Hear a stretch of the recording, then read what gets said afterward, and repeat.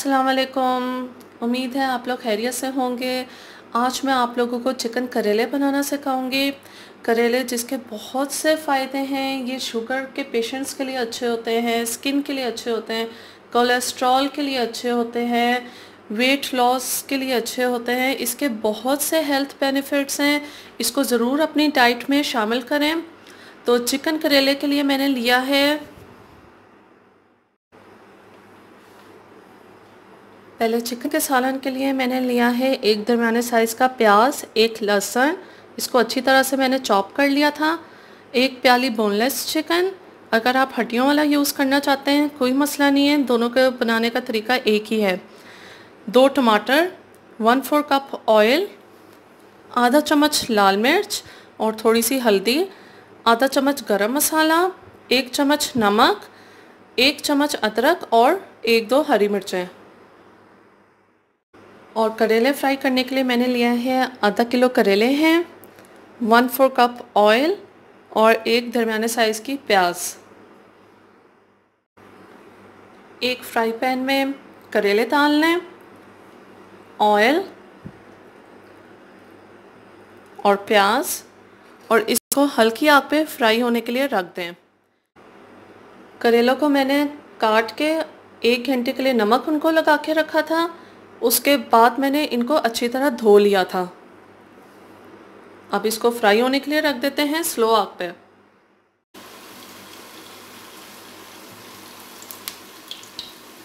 जब तक हमारे करेले फ्राई हो रहे हैं तो हम लोग चिकन का सालन बना लेते हैं। वन फोर कप ऑयल मैंने डाला है और लहसुन और प्याज। इसको हल्का ब्राउन करना है।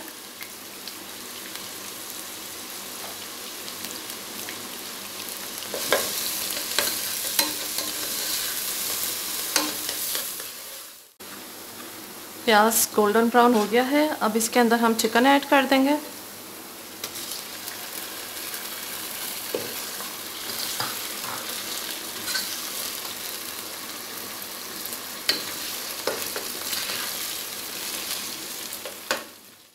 चिकन को अच्छी तरह इसमें फ्राई करें पाँच मिनट के लिए।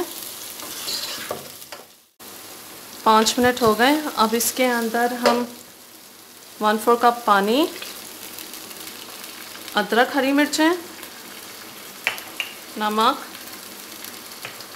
टमाटर और लाल मिर्च और हल्दी डाल देंगे और इसको मिक्स करेंगे अच्छी तरह और इसको भुनेंगे।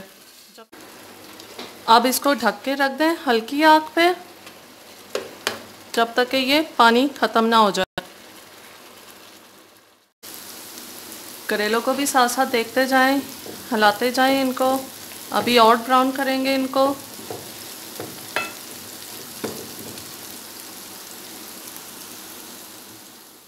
ये हो गए हैं।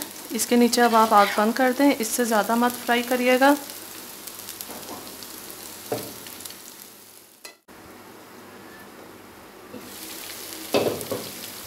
पानी ड्राई हो गया है।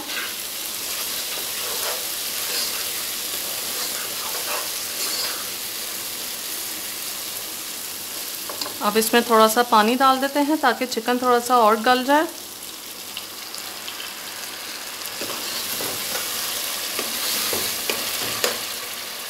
और इसको स्लो आग पे रख दें।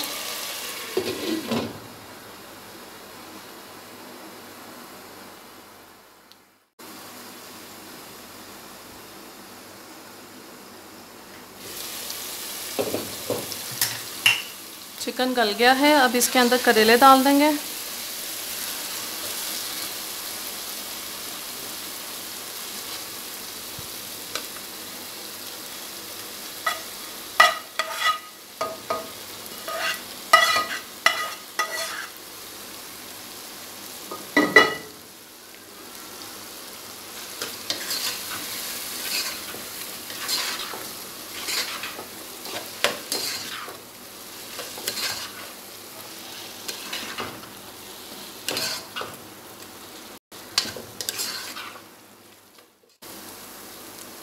इसमें ऐड करेंगे गरम मसाला और थोड़ा सा धनिया।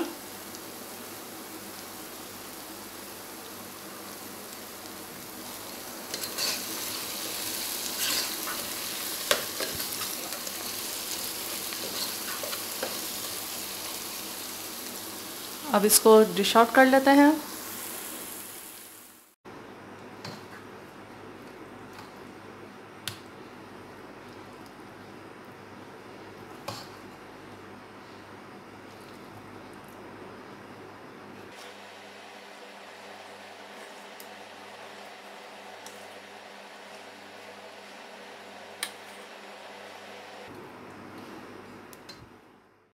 थोड़ा सा धनिया।